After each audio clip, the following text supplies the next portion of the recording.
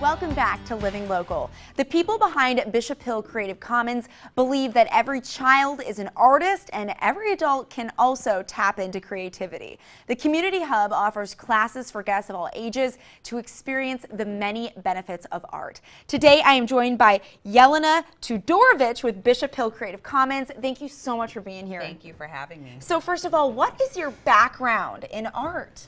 So I grew up in Bishop Hill, actually. Um, I had wonderful art teachers growing Mm-hmm. up. In junior high, I decided I really just wanted to pursue it. Um, I went to the School of the Art Institute in Chicago, and I've been an art teacher for 21 years. Wow. This so, year, so. Oh, congratulations. Yeah, As you reflect on the many years that you've been an art teacher, uh, what do you enjoy the most about it? What's so rewarding about it? I love, since I love art myself, I love being able to share that with other Mm-hmm. people, um, especially kids, because I think it's really important to see kind of the magic happen and like really get into creating. Um, so yeah, we, I, I love creating experiences where kids get to make those aha moments. And why do you believe that every child truly is an artist? I think we all start out as it. I see it even, you know, little from little. The first things we do, coloring, making marks, which is what we're going to be doing today. And I think that as you grow older, you kind of go away from that. Right. Um, junior high-ish, we kind of get more self-conscious. Sure. People usually dip off at that point. So, um, yeah, basically once you get to, you know, adulthood, I think that you either have confidence in it or not. And I'm hoping to inspire other people and try and get people to see how art can can really help you. Yeah, art is such a valuable form of self-expression, and really, truly can be not only just fun but also therapeutic. And Absolutely. so, um, we are going to be tapping into some creativity today. So, Jelena, what are we creating? So we are going to be creating butterfly and hummingbird mixed media pieces. They're basically paintings, but we've got some fun, um, cool cutouts and things that we can create here as well. Wonderful. So, yeah, I see some flowers, some butterfly cutouts there. Yes. Um, so, what's the first step? So we have canvases that we prepped here just with a plain coat of paint. And now what we're going to do is just make some marks, which like I said, every every kid can do this. If a kid So, can do it, we should be able to do it. absolutely. I should be able to do it. So what you're going to do, I have different like stamping tools here Oh. that you go ahead and pick one up. Okay. And what we're trying to do is just create kind of crazy, crazy color combinations. Um, I love to work with bright colors. I just think Same. Look at us. We're like all dressed bright. I am the same exact way. I love brightness. so, especially in the summer. Yes. Um, so we're using kind of organic shapes. Um, sometimes I use actually plants and natural materials to make these marks. And what this is going to do is going to create an underlayer for um, painting similar to this here. Oh, I see that. Look how beautiful that little butterfly picture is. So all these little things just are going to pop up and you can pick what you want to emphasize in your final piece. And so right now we're just kind of layering on the different textures and the different colors onto the canvas. And I'm already loving my piece.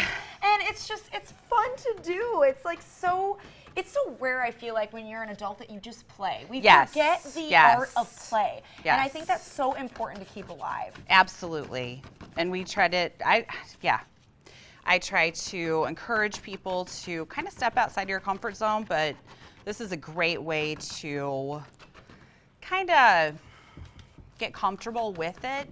When we have classes, we love to have people, if you want to bring your friends, if you don't have anybody that wants to come with you, come by yourself. We have such a, it's just a really nice vibe that goes on when you're creating art with people. Oh, it's so true. It's such a great way to Perfect. Meet. You're doing Are great. you loving this? I'm loving this. I mean, the color. You just know my soul because you brought the most beautiful, bright neon colors known to mankind. So Awesome. This is looking gorgeous. Try a little bit of the Okay. stencil, which is really pretty. It's got some flowers that you can paint over. You could stamp onto it.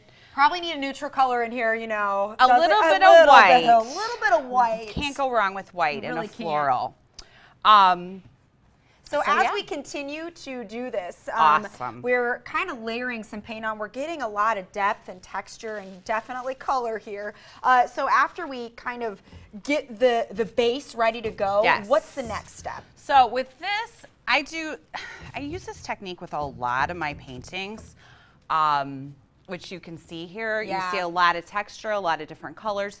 In these paintings, there are a lot of layers that I use, um, which are gonna peek through. But what we're gonna be doing is we're gonna be picking a butterfly or a hummingbird or both. Ooh. And this is the cool thing. So this is just tissue paper, but it's got like a little metallic sheen to it.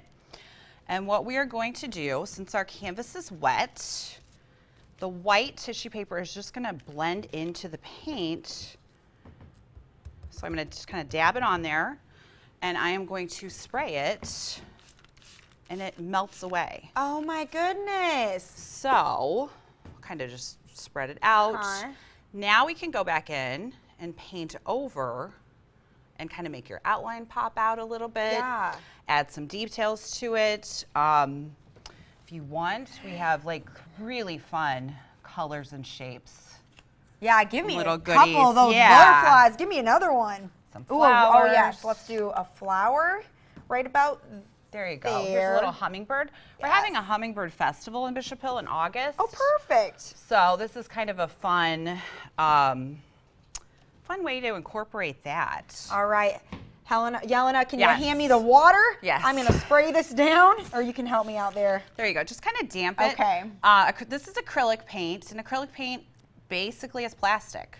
So when it dries, it's going to turn into plastic. Perfect. And then you How said about one outlining it. You yes. one of these guys? Let's do one of the big ones. This is kind of a fun one. Do you want that one? Oh, this is exactly what I need on my painting for sure. Now, is it okay if it kind of goes off the side? Absolutely. And I have some matte medium, which is like a glue. Mm -hmm. So that will help.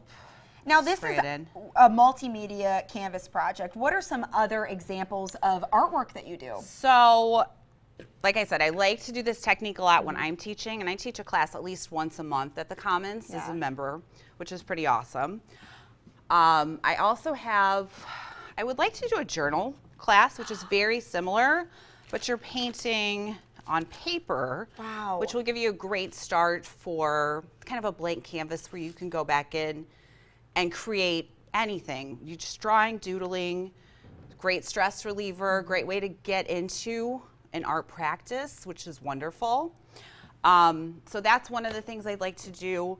Pet portraits. I've had people. This is one of my pet portraits that I've painted, um, and I'd like to share that because I pet portraits everybody loves. Um, a hundred percent. I need to do one of my Chewini Wendy. I'm definitely if you if you do a class, I For need to know because I need to sign up absolutely. For sure. So how can people get signed up for these classes? So we're on Facebook, um, Bishop Hill Creative Commons. Um, we just have a lot of events that pop up. We have a couple now. We have a Shibori um, dyeing uh, class that's going to be coming up also. Just all different because we all have all different artists at the Commons. So true. Well, Jelena, So- thank you so much for this demonstration. And I'll have to uh, finish this in the commercial break. We so appreciate you being here, sharing your passion and your creativity. Thank you. All right, you guys, for more information, you can find Bishop Hill Creative Commons on Facebook. We'll also have those details posted on ourquadcities.com. More Living Local continues after this break. Stay with us.